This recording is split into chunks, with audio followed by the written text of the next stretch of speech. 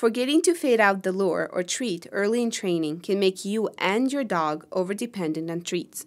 If your dog only does commands when he is presented with a reward, start with a lure and after a couple of lures, put the treat away. Lure with an empty hand and wait for your dog to do what you asked. You will have to be patient. Do a huge reward if he does it. Start using life rewards like going for walks, pets, and jumping on the furniture.